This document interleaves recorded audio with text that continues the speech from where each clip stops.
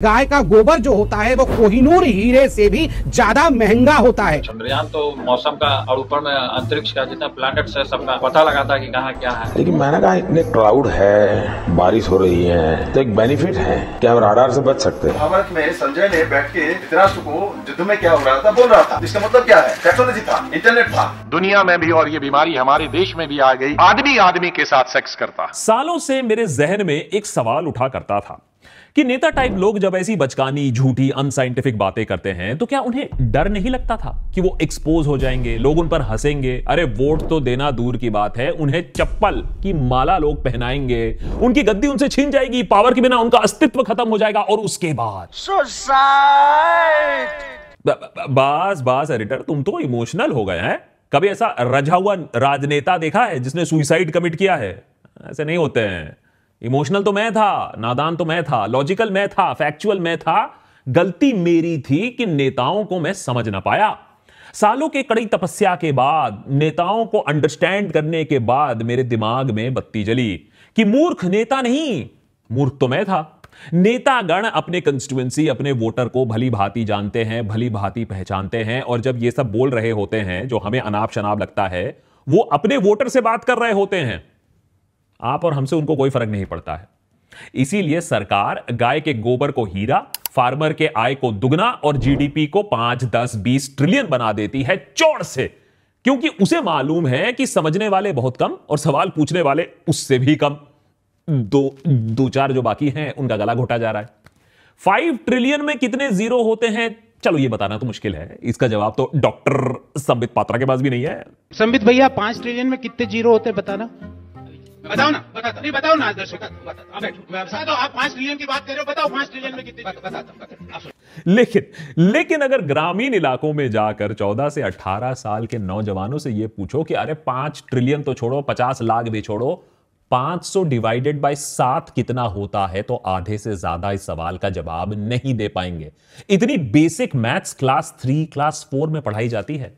यही नहीं rural India में 14 से 18 साल के नौजवान घड़ी में समय देखना, स्केल का प्रॉपर तरीके से इस्तेमाल करना, अपने रीजनल लैंग्वेज में क्लास टू की टेक्स्ट बुक पढ़ना, ये बेसिक काम करने में भी सक्षम नहीं है।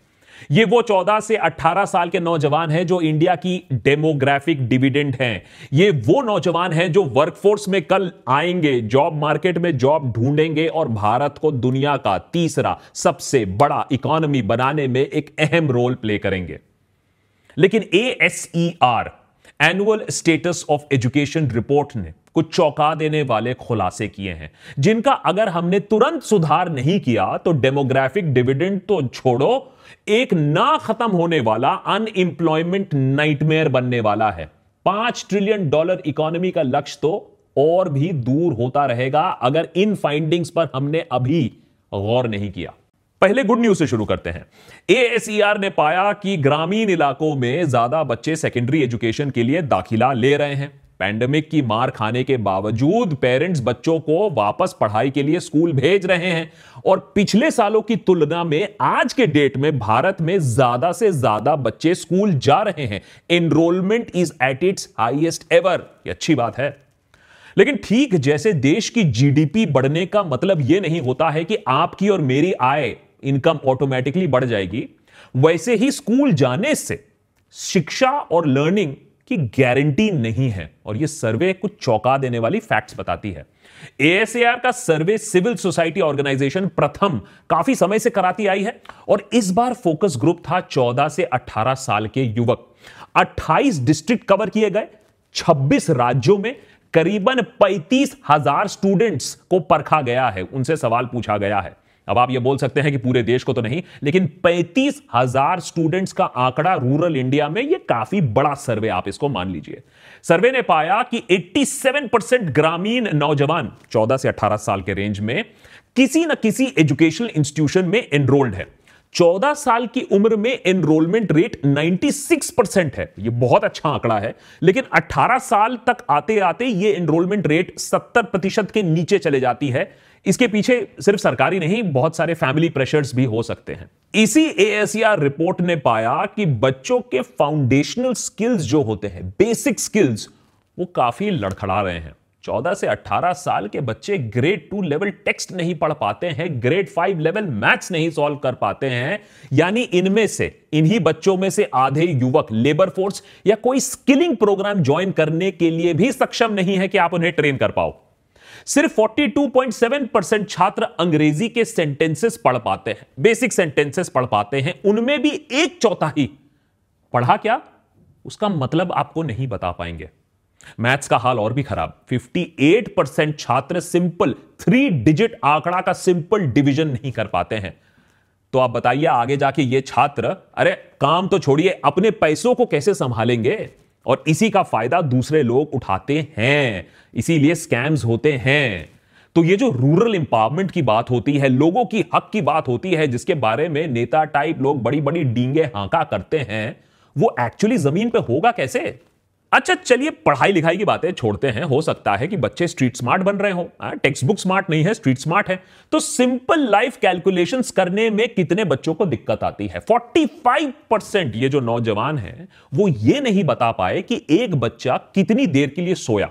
उनको सोने का टाइम बताया गया, उनको उठने का टाइम बताया गया, उनको सिर्फ़ कैलकुलेट करना था कि एक बच्चा कितनी देर सोता है। तो इस हालत में बताइए कि वो फैक्ट्री जाकर अपनी टाइमिंग कैसे आंकेंगे? या फैक्ट्री वाला बोलेगा, तुम तो सिर्फ़ चार घंटे काम किए हैं। अगर देश में बेरोजगारी की समस्या कम करनी है तो वोकेशनल एजुकेशन इंपॉर्टेंट है। डिग्री नहीं, कम से कम नौकरी के अवसर तो ज़रूर मिलेंगे। लेकिन उसके लिए भी बेसिक एजुकेशन की एक दरकार होती है। जैसे एक टास्क में 40 प्रतिशत नौजवान, जिन्हें सर्वे किया गया, वो ठीक से स्केल तक का इस्तेमाल नहीं कर पाए। ज़ीरो से मापने को बोला तो माप लिया, लेकिन अगर वही आंकना शुरू हुआ दो या चार से तो उनका हिसाब पूरी तरीके से चौपट। याद रखिए यह सर्वे कोई मुश्किल, कोई ओलंपियाड लेवल सवाल नहीं पूछ रहा था। टास्क बस इतना था कि 14 से 18 साल के नौजवान, क्या क्लास थ्री, फोर वाला काम कर सकते हैं? उतने लेवल की अंडरस्टैंडिंग दिखा सकते हैं। मैंने इतना बेस लेवल पर, इतना सरल लेवल पर यह एक सर्वे किया गया, तब जाकर यह हालत है। दुख की बात यह है कि इसके बारे में टीवी पे 9 बजे आपको चीखने चिल्लाने वाले डिबेट नहीं सुनने को मिलेंगे। कोई ड्रग दो ड्रग दो ड्रग दो वाला एंकर यह नहीं पूछेगा कि अगर बच्चे स्कूल में और भी ज़्यादा टाइम बिता रहे हैं हमारे देश में, ग्रामीण इलाकों में कोविड के बाद भी बच्चे स्कूल वापस आए हैं तो उनका डब्बा इतना गोल क्यों है? ये एजुकेशन की जो चुनौती है आज हमारे सामने, वो किसी एक पार्टी या किसी एक सरकार की देन तो है नहीं। और अगर देश में एजुकेशन और उसके बाद बेरोजगारी की समस्या को सुलझाना होगा तो पहले तो यह मानना होगा कि भैया समस्या काफ़ी गंभीर है। ये नहीं कि हाँ हम आ गए हैं, हम तीस मार खान हैं, हमने प्रॉब्लम सुलझा दिया है, हमने सब कुछ उल्टा दिया है। हालाँकि भक्त मंडली में ऐसे लोग भी बैठे हुए हैं जो ये बात भी मान लेंगे। लेकिन अगर कोई भी सरकार ये बात को ठान ले कि भैया इस प्रॉब्लम को हम सॉल्व करेंगे, अगर सरकार ऐसी मंशा रखे तो पॉसिबल है। अरे सरकार मंशा रखती है तो लोग ताली थाली बजाने लगते हैं मंशा रखती है तो विशाल नए बिल्डिंग्स खड़े कर देती है। मंशा है तो वैक्सीनेशन प्रोग्राम कुछ ही हफ्तों में महीनों में सफल हो जाता है।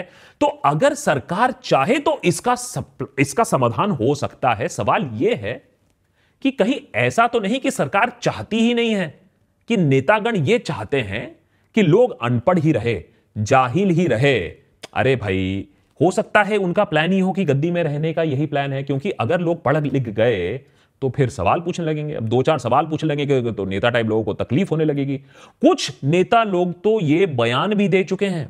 केरला का आप एग्ज़ाम्पल देख लीजिए कि हम क्या कर सकते हैं? लोग इतने पढ़े लिखे हैं। अब आप बोलोगे कि यार क्या देशभक्त, क्या इशू लेकर आज तुम आ गए हो? रूरल इंडिया में एजुकेशन क्राइसिस है तो ये तो हमें मालूम है। इससे हमें क्या फ़र्क पड़ता है? हमारे लिए तो सब चंगा सी है। हम तो अपने एसयूवी ऑर्डर कर रहे हैं। अगर आप भी ऐसा सोचते हो तो गलत सोचते हो। चलिए, देश के लिए नहीं, अपने स्वार्थ के लिए ये दो पॉइंट सुन लीजिए कि आप पर फ़र्क कैसे पड़ता है इकोनॉमिकली और पॉलिटिकली हम अक्सर सोचते हैं कि डेमोग्राफिक डिविडेंड होने से, जनसंख्या सिर्फ़ होने से, चलो मेक इन इंडिया एक कार्यक्रम उसके ऊपर लगा देने से युवाओं को नौकरी मिल जाएगी, इंडिया मैन्युफैक्चरिंग हब बन जाएगा और पूरा देश आगे बढ़ने लगेगा, हम manufacturing hub of the world बन जाएँगे। लेकिन हम भूल जाते हैं कि कोई भी एमएनसी अरे छोड़िए एमएनसी छोड़िए, देश की कोई कंपनी अगर फैक्ट्री बैठाने से पहले वो देखती है कि फंडिंग कैसा है मार्केट कैसा है, लोगों की बाइंग पावर है कि नहीं है सोशल कंडीशंस कैसे हैं पॉलिटिकल क्लाइमेट कैसा है, और most importantly quality of labour कैसा है। अगर क्वालिटी ही नहीं है तो फैक्ट्री नहीं लगेगी, कोई इन्वेस्टमेंट नहीं होगा, और जब तक लोगों के पास पैसे नहीं होंगे तो उनकी बाइंग पावर नहीं होगी। अगर बाइंग पावर नहीं होगी तो हमारी इकोनॉमी ये जो आठ दस प्रतिशत जिसे ग्रो करने की ज़रूरत है, वो ग्रो नहीं करेगी। अगर वो ग्रो नहीं करेगी तो पाँच ट्रिलियन टन इकोनॉमी का सपना सपना ही रह जाएगा अगले कुछ सालों के लिए। पिछले हफ़्ते लाखों अर्बन एयर ट्रैवलर्स ने यह बात समझा कि अगर एयरलाइंस एयरपोर्ट यहाँ तक कि part of the airport security को आप प्राइवेट प्लेयर्स के हाथों में दे दोगे, सब कुछ बेच बाज दोगे और बेसिक मॉनिटरिंग तक भी नहीं करोगे तो क्या होता है। दिल्ली में फॉग के बीच में रनवे मेंटेनेंस चल रहा था। इंडिगो एयरलाइंस पर यह इल्ज़ाम है कि भैया वो दबा के अपनी मोनोपोली चला रही है। स्पाइसजेट में पैसेंजर को टॉयलेट में बंद होकर ट्रैवल करना पड़ा। और उसके बाद पैसेंजर को बोलने का भी हक नहीं तो फिर किस रूप में गुस्सा निकला? पायलट को ही झांपड़ मार दिया। अब यही सोचिए हालत क्या हो रही है रूरल एरियाज़ में? कि जब सरकार अपनी मनमानी करती है और बोलने के लिए कुछ और कोई नहीं होता है, कोई इंस्टीट्यूशनल सिस्टम नहीं होता है या फिर कोई खड़ा नहीं होता है। एमएसपी का एग्ज़ाम्पल ले लीजिए, जब वो किसानों को मिलता नहीं है और उनके ऊपर प्राइवेटाइजेशन सरकार थोपने की कोशिश कर रही है, जिसके खिलाफ फार्मर्स अपनी आवाज़ उठाने की कोशिश कर रहे हैं। जनता भैया, जब तक एजुकेटेड नहीं है, उसे दबाना और आसान होता है। इसीलिए शायद सरकार जेएनयू से खासा नाराज़ भी रहती है। लैक ऑफ़ एजुकेशन से एक तरफ़ सोशल और दूसरे तरफ़ पॉलिटिकल दबाव बढ़ता ही है और जो तानाशाह होते हैं, वो और भी अपना दबदबा बना सकते हैं। लेकिन अनएम्प्लॉयमेंट और अनएम्प्लॉयबिलिटी दोनों ही एक बहुत ही कठिन प्रॉब्लम है, जो कि एक आउटपुट है इसी अन एजुकेशन का लैक ऑफ़ एजुकेशन का। और अनएम्प्लॉयबिलिटी क्या होता है, ये अपने आप में ही एक सब्जेक्ट है, जिसके बारे में हमने एक एपिसोड बना के रखा है कि सोच लीजिए, कल भरमार आ जाती है नौकरी के हमारे देश में, हमारे पास लोग नहीं होंगे वो नौकरियों को भरने के लिए। लेकिन, किंतु परंतु सोल्यूशन है। अगर सारे पार्टीज़ मिलकर काम करें तो हो सकता है एक सोल्यूशन निकल आए। अमेरिका में इसे बाय पार्टीजन इशू कहते हैं। मैंने बाकी मुद्दों पर हम एक दूसरे का गला दबाएँगे। लेकिन जब बड़े मुद्दे आते हैं, जैसे कोविड हो या टैक्सेस हो या सिविल राइट्स हो, ऐसे मुद्दों पर सारी पार्टीज़ एकमत होकर काम करती हैं। सबसे बड़ी प्रॉब्लम, ग्रामीण इलाकों में स्कूल्स को छोड़कर भी जो कि एक प्रॉब्लम ऑब्वियसली है कि स्कूल्स अच्छे नहीं हैं ग्रामीण इलाकों में, लेकिन उसको अगर हम अच्छा कर भी दें, नौजवानों को घर के कामों में भी हाथ बटाना होता है। तो ए रिपोर्ट यह कहती है कि हमें इस बात को मद्देनजर रखते हुए मोबाइल फोन्स का इस्तेमाल करके एजुकेशन को और आसान और फ्लेक्सिबल और मोबाइल बनाना होगा। जैसे वर्क फ्रॉम होम हो चुका है, वैसे S F H school from home कभी स्कूल कभी घर, कभी मोबाइल से एजुकेशन कभी क्लासरूम में एजुकेशन हाइब्रिड मॉडल क्योंकि फ़ोन तो सबके पास है। नब्बे प्रतिशत से ज़्यादा लोगों के पास फ़ोन है। लेकिन प्रॉब्लम यहाँ भी एक है, जिसका ए एस ई आर ने भी उसको अपने रिपोर्ट में मेंशन किया है कि मोबाइल फ़ोन का जो इस्तेमाल हो रहा है, चाहे वो अर्बन हो या रूरल एरियाज़ में हो, वो शिक्षा के लिए नहीं, मनोरंजन के लिए दबा के हो रहा है। तो इस ट्रेंड को भी चेंज करना होगा। टेक्निकल एंड वोकेशनल एजुकेशन पर बहुत ही ज़्यादा ध्यान देने की ज़रूरत है। कोई चांस ही नहीं है कि सारे डिग्री धारियों को नौकरी मिल सके। शर्म की बात तो यह है कि हमें 100 बिलियन डॉलर का सामान चाइना से इंपोर्ट कराना होता है, जबकि वो हमारी ज़मीन में घुसने की कोशिश कर रहे हैं, गालवान पर हमारे ऊपर हमला कर रहे हैं। लेकिन सीखने वाली बात यह है अपने दुश्मनों से भी कि अपने डेमोग्राफिक डिविडेंड का फ़ायदा उठाकर vocational education and training systems के ज़रिए चाइना ने अपने लेबर फोर्स को अपग्रेड किया था और दुनिया का मैन्युफैक्चरिंग हब बन गया। इसलिए नहीं सिर्फ़ कि उसके पास पॉपुलेशन थी, इसलिए क्योंकि उसके पास ट्रेंड पॉपुलेशन थी। एएससीआर रिपोर्ट खुद कहती है कि हमें इस डायरेक्शन में अभी बहुत ज़्यादा काम करना है। अब इस रिपोर्ट के खोज से दो नतीजे हो सकते हैं। या तो अकस्मात सरकार यह बात समझ जाए कि कोई भी रिपोर्ट जो सत्य की तरफ़ इशारा कर रही है, वो सोरोस या गांधी ने नहीं बनाई है। वो साफ़ जमीनी हकीकत दिखा रही है। अगर इतनी सी बात समझ में आ जाए तो बहुत सुधार हो सकता है आने वाले सालों में। सिर्फ़ थोड़े फोकस की ज़रूरत है, पूरा गेम बदल सकता है। दूसरे देशों ने बदला है, दूसरे देशों ने यह काम किया है। आप छोटे साउथ कोरिया के एग्ज़ाम्पल ले लीजिए या मैसिव चाइना के एग्ज़ाम्पल ले लीजिए, स्केलिंग में भी ये पॉसिबल है। लेकिन हो सकता है कि इस रिपोर्ट को भी एंटी नेशनल सोरोस फंडेड कह के झुटला दिया जाए। इस रिपोर्ट पर भी सवाल खड़े कर दिए जाए। नीचे मैंने वैसे लिंक दिया हुआ है, इस रिपोर्ट के ऊपर भी सवाल है। मेज़रमेंट स्टैंडर्ड्स गलत हैं, ये रिपोर्ट नहीं है, ये सही नहीं है, ये आकती नहीं है। हो सकता है कि कुछ भी ना बदले, कि ग्रामीण पाठशालाओं की हालत जो ऑलरेडी बदतर है, वो बद से बदतर और हो जाए। और बच्चे सोशल मीडिया पर के फॉर खतरे में है you for us versus them और जहाँ तक मैथ्स की बात हो तो 80 20 का रेशियो ही खूब समझ ले। ऐसे रिपोर्ट्स का और ऐसे एक्सपर्ट्स का बस काम इतना होता है कि हमें आगाह करे कि गाड़ी पटरी से उतर रही है। अब उसके बाद जनता जनार्दन है हुँ? उसके सामने आज तक किसकी चली है? एक साल पहले भी हमने स्टार्टअप कोलैप्स के बारे में आपको आगाह किया था एपिसोड बनाया था, खूब गालियाँ पड़ी थी। एक साल पहले हमने पूछा था कि, भाई, वो बॉयकॉट चाइना का क्या हुआ भाई? फिर गालियाँ पड़ी। एक साल पहले by the way wild life experts ने ये चीता इंपोर्ट का प्लान को इम्प्रैक्टिकल बताया था, लेकिन लोगों ने कहा मास्टर स्ट्रोक अब जब टप टप करके सारे चीता मर रहे हैं तो बिल्कुल सन्नाटा हो गया है।